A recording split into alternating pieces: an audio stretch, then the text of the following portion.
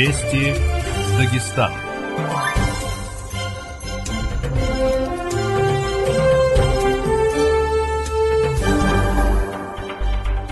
С обзором основных событий информационный выпуск «Вести Дагестан». Сегодня 13 февраля, среда. В студии Фарида Чупанова. Доброе утро.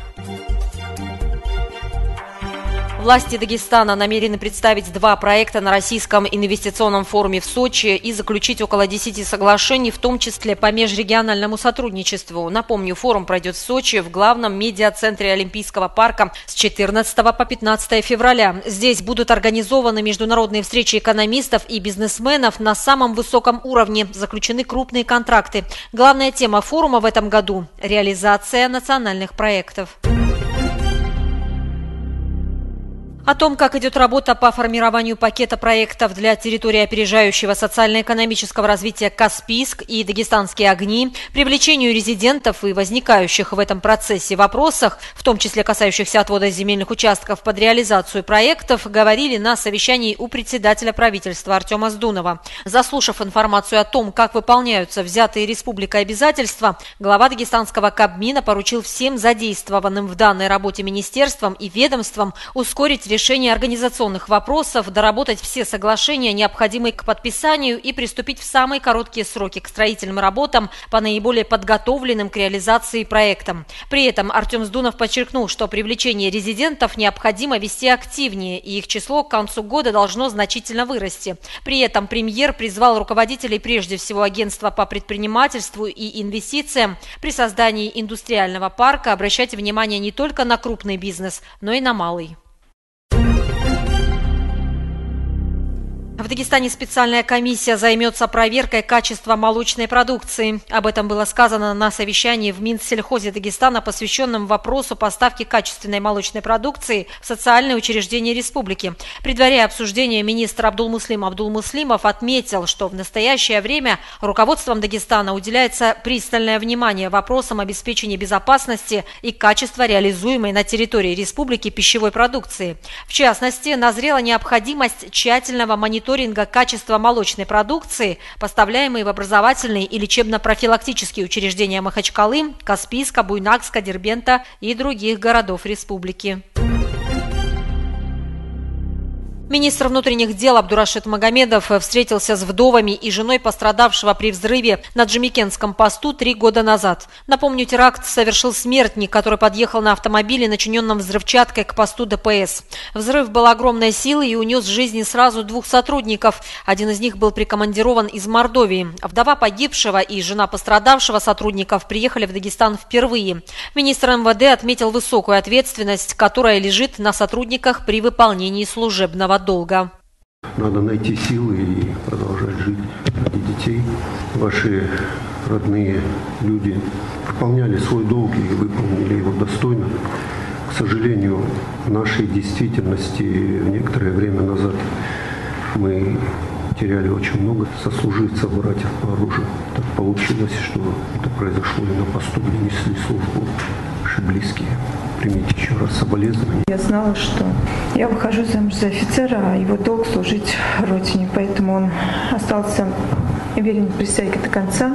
И думаю, он останется всегда образцом для подражания для наших детей.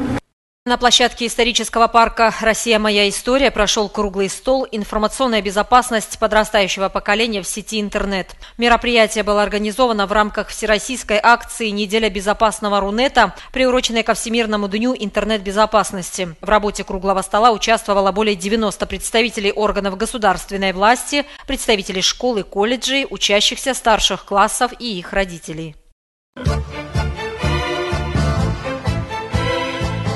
Начале было слово «Дагестанское радио». Мы первые в республике.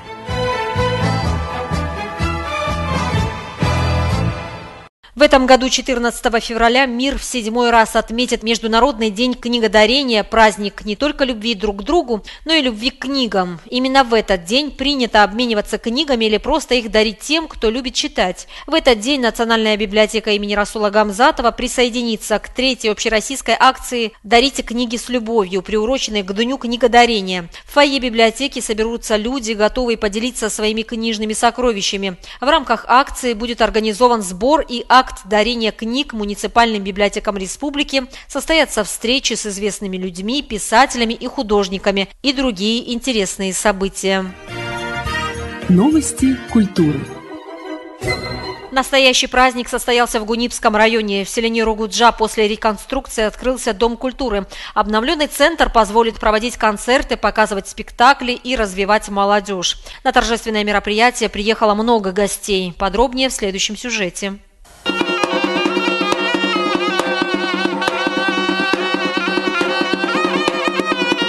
В большом культурном событии Гунибского района участие приняли, кроме самих ругунчинцев, которые получили современные условия для творчества и досуга, гости из разных уголков Дагестана. Среди них фольклорный ансамбль из Акушинского района. После торжественного развязания ленты гости осмотрели обновленное здание, которое было отремонтировано за 8 месяцев по государственной программе. Теперь в новом Доме культуры, в просторном актовом зале на 170 мест, можно проводить концерты и показывать спектакли. Прекрасное здание сегодня видите, внутри еще увидите с отапливаемым залом. Я помню еще в детстве, когда на собрание здесь колхозные ходил, здесь люди ходить, сидеть не могли за то, что холодно было. Пускай вот это новое здание клуба, да, будет вестником возрождения селения Ругуджа. После реконструкции трудно узнать построенный более 70 лет назад сельский клуб, который всегда играл большую роль в жизни ругуджинцев. Это клуб, это больница, это школа, это мечеть, Понимаете? Открытие таких учреждений – это очень большое значение имеет. Это обновленное здание на родине видного государственного деятеля Абдурахмана Даниялова станет тем местом, где будут проводиться культурно-просветительские и развлекательные мероприятия, где будут открывать юные таланты, куда, как и в старые времена, будут приезжать музыкальные коллективы со всей республики. Красивое село, старинное село, село с историей древнейшей, э, людьми древнейшими, известными политиками, государственными деятелями.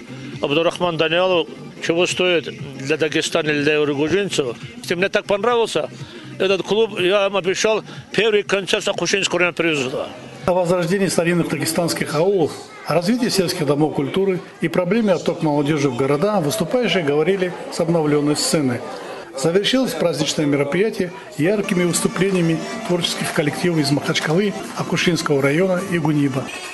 В год 160-летия окончания Кавказской войны Музей истории города Махачкалы представляет уникальную выставку и впервые вводит в научный оборот фотоальбом под названием «Альбом подвижного сбора и торжеств на Гунибе по случаю 50-летнего юбилея покорения Восточного Кавказа 1909 года». Открытие выставки «Альбом капитана Никиты» Гуниб 1909 года пройдет завтра. На стендах экспозиции будут представлены фотографии, документы и материалы. Радио России Дагестан. Спорт. В Махачкале открыли спортивно-развивающий комплекс для инвалидов «Город здоровых людей». Это первое в республике общедоступное сооружение, позволяющее маломобильным гражданам свободно заниматься спортом в городском парке. Проект реализован при поддержке Федерального агентства по делам молодежи и Комитета по спорту, туризму и делам молодежи администрации Махачкалы. Радио России Дагестан. Погода.